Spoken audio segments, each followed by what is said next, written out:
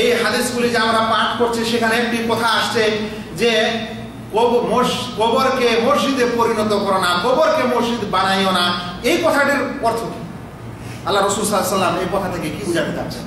খুবই সংক্ষিপ্তভাবে ছোট করে আমি আপনাদের একটা উদাহরণ দিই। আমরা যদি বাংলা ভাষায় কেউ যদি বলে যে আমার বাড়িটা একেবারে গোয়াল ঘর বানিয়ে নিয়েছে। আমার বাড়িটাকে কি বানিয়ে নিয়েছে? আমার বাড়িটাকে একদম গোয়াল ঘর বানিয়ে নিয়েছে। তার মানে কি হয়? মানে গোয়াল ঘরে যে সকল কাজকর্ম হয়, গরু বাঁধার স্থানে যে সকল কাজকর্ম হয় ওইরকম কাজকর্ম আমার ঘরে, আমার বাড়িতে এরা শুরু করে দিয়েছে। গোয়াল ঘরে কি কাজ হয়?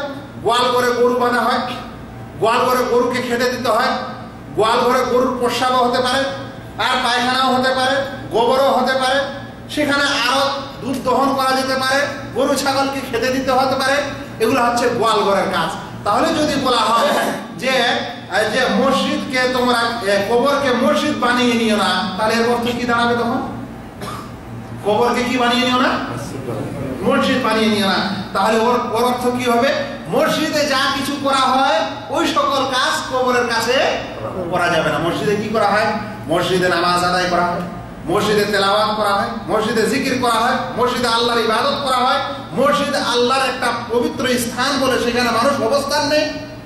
তাহলে যখন বলা হচ্ছে যে কবরকে তোমরা কি করো না, মসজিদ বানিয়ে নিও না বা মসজিদে পরিণত করো না, তখন এর এই অর্থগুলি বোঝায় যে মসজিদে মানুষ যে সকল কাজ করে, এরকম কোনো কাজ কবরের কাছে করা যাবে না, নামাজ আদায় করা যাবে না, রুকু করা যাবে না, সাজদা করা যাবে না, ওখানে তেলাওয়াত করা যাবে না, ওখানে আল্লাহর ইবাদত করার উদ্দেশ্যেও যাওয়া যাবে না। এই কারণে ওলামা একরাম বলেছেন যে কম করে হলে এখানে তিনটি অর্থ দেয়। এক নম্বর অর্থ হলো কবরকে মসজিদ বানায় না, অর্থাৎ কবরের উপর মসজিদ বানাবে না। এক নম্বর অর্থ। দ্বিতীয় নম্বর হলো ওই কবরকে সিজদা করবে না, ওই কবরকে সামনে রেখে নামাজ আদায় করবে না, ওখানে রুকু, সাজদা করবে না, ওখানে দোয়া করবে না, ওখানে ইবাদতের কোনো কিছু করবে না। ওই কবরের কবরের বরকতের আশায় বা ইত্যাদি করা যাবে না। আর তৃতীয় নম্বর হলো কবরকে সামনে রেখে মানে কবরকে কিবলামুখী রেখে নামাজ আদায় করা যাবে না।